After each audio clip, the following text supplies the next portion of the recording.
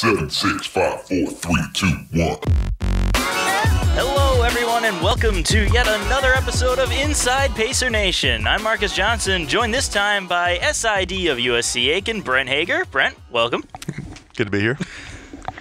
And normally we have Jordan here, but sadly he could not make it today. He had prior engagements, so Brent's graciously filling in.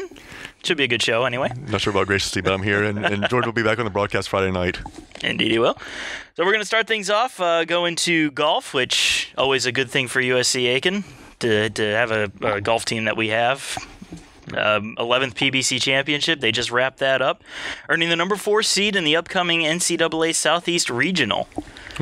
And arguably the toughest region in the country. We got about 15 of the 20 teams are nationally ranked.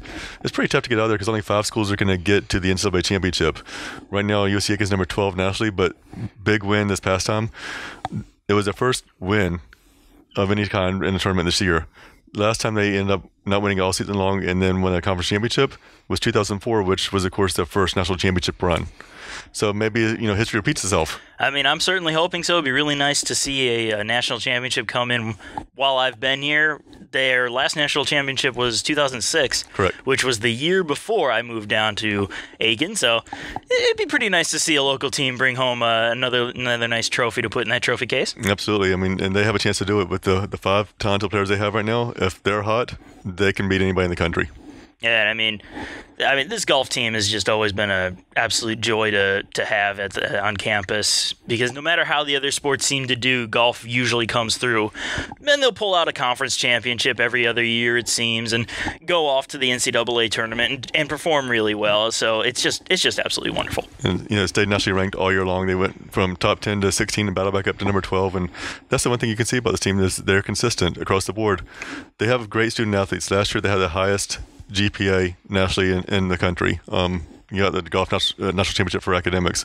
They will want to have one on the on the links instead. But the student athletes, the good thing about this coming week, they're done with finals right now. So you talk to Axel, August, they're like, well, we have a final coming up. We have to study for this, study for this. And st- they study all day long. Their grades are so good.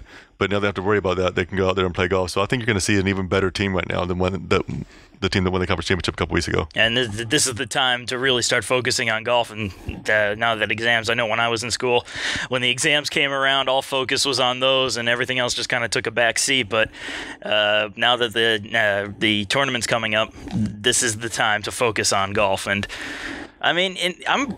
I'm, I'm kind of I'm kind of looking forward to this. I really I have a good feeling about golf this year. I think they may be able to to really really make a rush at it. And one of the things you were saying about them dropping out of the top 10 and then working their way back up, they play a lot of division 1 schools constantly. So it's it's not like they're playing pathetic opponents and, and getting the getting the living tar beaten out of them, but they're they're playing tough tough teams and and it's not only tough teams, they play on some of the toughest courses in the country, where some of the other teams in the region may not be playing on the hardest courses. They don't go against Division One teams. They might do it for a tournament or two, but we only play in two to three Division Two tournaments all year long. The rest of us against Division One uh, competition, and you play up against competition like that, you will normally thrive when you go down against other, you know, Division Two foes. But in, again, in this region, it's some of the toughest in the country, so it's going to be tough regardless.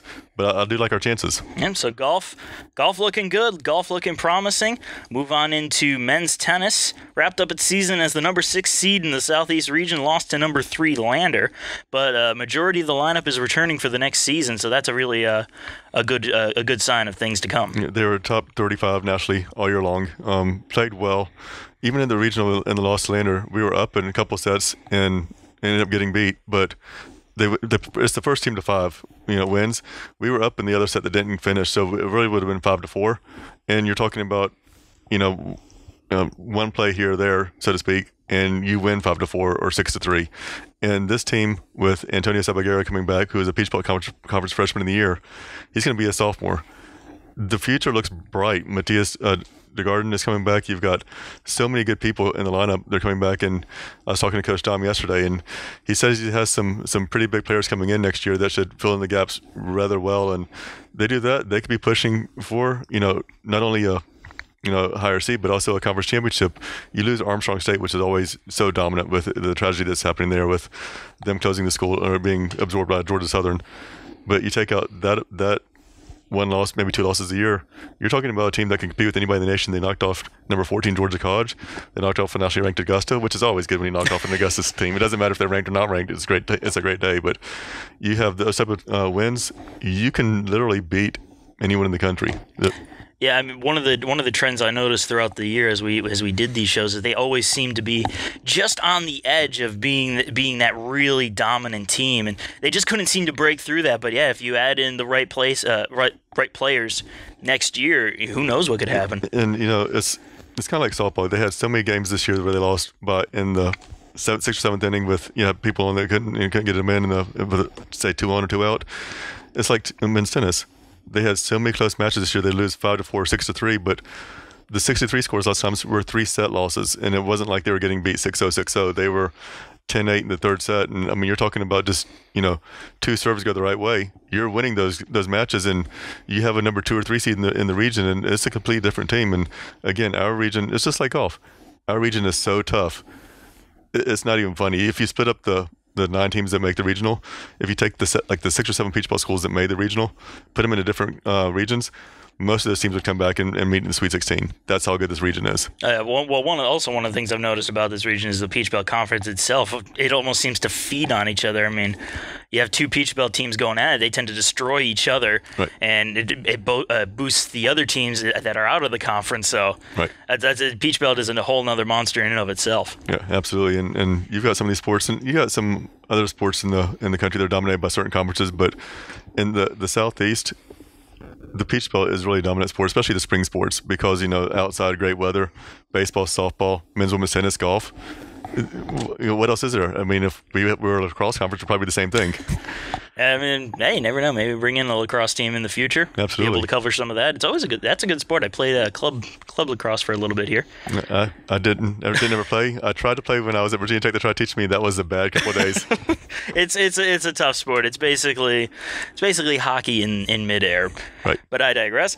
tennis, bright future ahead for tennis. So we're looking forward to them next year. And now we move on to a team that. Uh, oh, did Well- you have one more? Well, let's talk about women's tennis real quick. Oh, women's- you know, okay. they, they didn't. Um, they made the conference tournament. Um, they didn't make the regionals this year, um, but they do graduate Nadine Tusiama, who was a three-time all-conference performer. She was the first USC Aiken women's tennis player to ever become a first-team all-conference selection, which was last year.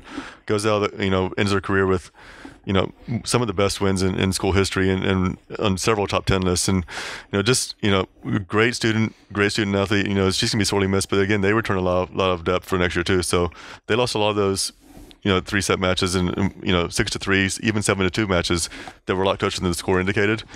Next year is the same thing for men's tennis. They could be really, really good. Yeah, and, and again, same thing with men's tennis. They they were maybe about half a step behind the men's team this year, Right. and put in the right pieces, and you never know what you're going to get. Absolutely. So men and women's tennis now looking strong for next year. So looking forward to uh, possibly covering them next year and see what goes on. We will have our first ever live tennis broadcast next year. And that's good because I've uh, I've also played tennis, so I know what I'm talking about when I when I go in. That's better than you than me.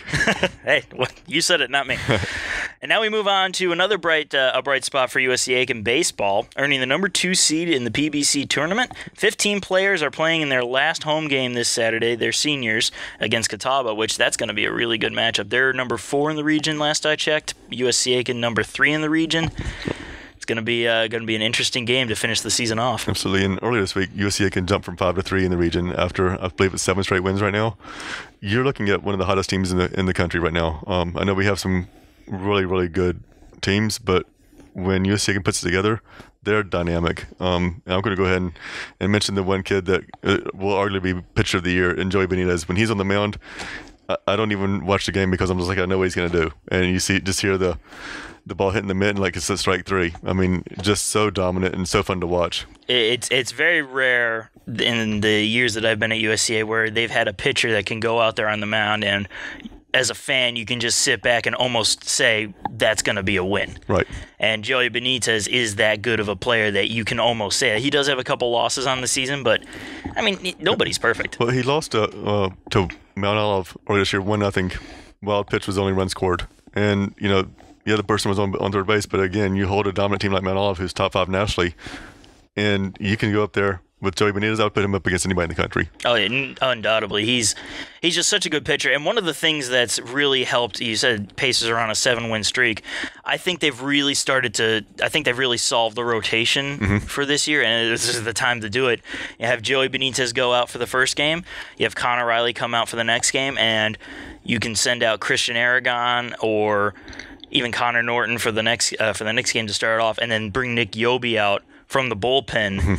After maybe even even after only four innings, if you really had to, and they can just close out the game because Yobi Yobi was a starter last year, and he, he doesn't seem to have lost any of that mentality coming out of the bullpen, and, and it's I, I really feel like that if they stick to this rotation throughout the tournament, they could win the Peach Belt tournament. I, I'm not sure if they're going to. I mean, I don't want to. You know, North Georgia's really tough, and and so is Yeah. Pembroke, and, and you got some really great teams in the, the tournament. But I like our chances. Oh, it's it's yeah, it's very uh, very good chances for the Pacers. I'll say this: I don't really, it, in all honesty, I don't care if we don't win the tournament, the Peach Belt tournament, or not. It'd be great to. I want to win the regional tournament. I want to win a national championship. Well, I mean, obviously, you want to win the national championship, but let's let's take a step back and just go with the regional tournament first. right. Well, one pitch at a time. Yeah, I well, mean, exactly. You know, and the thing is, I mean, we've seen baseball get down uh, by a few runs, and it doesn't phase them at all because, you know, you got 27 outs in the game, and they might fall behind two or three nothing early on. But the lineup that they have is so dynamic. One through nine, who do you, you know, who do you not pitch to?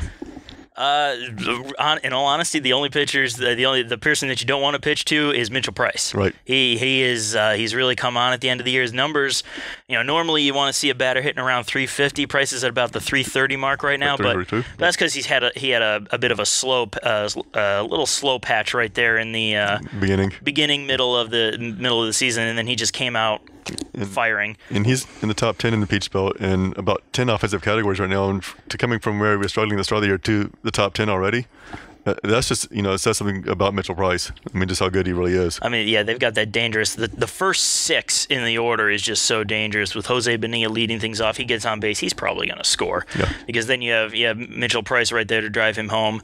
Niall Goings has come out of nowhere this year and just done an absolutely fantastic job at the plate compared to where he was last year, where he just couldn't seem to to, to string things together. Now he is.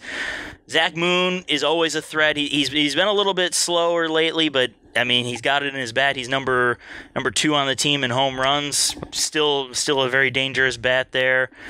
I mean they're just they're just loaded. You know, you've got Brian Prayer, who's the national hitter of the week, you know, coming up. And, you know, right now we've got Connor Durden back in the lineup, um, some here too. And you've got so many hitters on there. You don't know who, and you got to set somebody out every time you, you bring someone off the bench for bench hitter if you need them.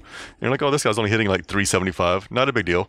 And, and, it's just one of those things where some people have one or two hitters on the bench, but we have a, a bevy of, of players on the bench that can come in and get a pinch hit or go in and play, you know, three or four innings if need be and, and thrive in the field as well. Oh yeah, it was uh, speaking of Connor Durden, and also you know bringing players off the bench. He went down for a little bit there with a, with injury problems, and Pacers didn't really seem to skip a beat, even though he was one of their hottest bats. They brought they put Pereira in at, behind the plate, and he's pretty much uh, become the everyday catcher now. Right. So, and he was a great first baseman. And he's a pretty solid catcher too, Right. and his bats come really come alive at the right moments. And yeah, I'll, I'll tell you who surprised me this year is Luke Westerberg, and he's had a monster year um, coming from where he was last year when he transferred in, and he's a guy that, you know, could be an all-conference player, could be, um, you know, an all-region type player. Just be, and, he, and he goes unnoticed a little bit because of the Mitchell Prices and Zach Moons and Pereiras, but he's really filled a gap. Played right field, played in the infield a little bit, I think, and just just done anything that Coach Thomas needs him to, and, and he's really surprised me this year. Yeah, he's he's been a solid guy coming in there. Now going still seems to be the everyday right fielder, but Westerberg will come and give him a spell every now and again. Right. And uh, you, you don't you almost don't miss Goings when Westerberg comes in because his average is up there. He's one of the top on the team, even though he doesn't have as many at bats. But he's he's been a solid performer. And you know, if Westerberg does, you know, spell Nile and Goings comes in as a pinch hitter, it's always a threat because if he gets a hold of the ball, it's not going to land for a couple of days. Yeah, there were there were a couple of shots that I'm pretty sure are still up there in orbit somewhere. Right. But, ba- but baseball coming down the stretch, they're looking really good, really sharp, and eh, you know, I'd love to see a few more trophies out there in the trophy case. We'll see how things go as the season continues. But that about wraps things up here for this episode of Inside Pacer Nation. We'll be back again, giving you more in a couple weeks, giving you the rest of sports in their postseason. See how the golf team and baseball team fare as time goes on. But for Brent Hager, I'm Marcus Johnson. Thank you for joining us, and have a good one.